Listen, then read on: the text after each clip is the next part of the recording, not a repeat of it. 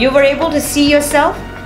Did that Kundali start making sense? This was supposed to be an inner awakening moment, like Buddha.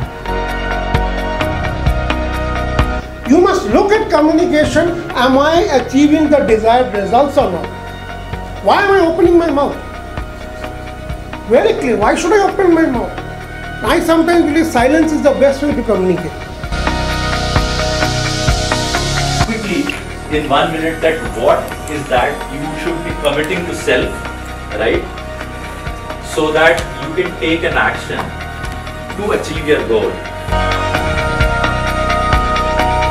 Your organization goes at each of the activities. There may be multiple start and ending points.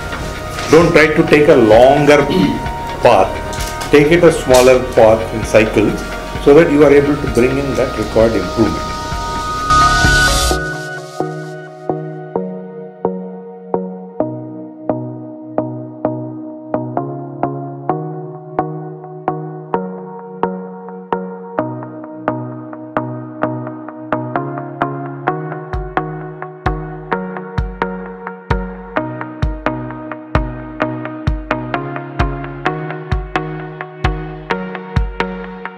No, that is not our problem. We need data.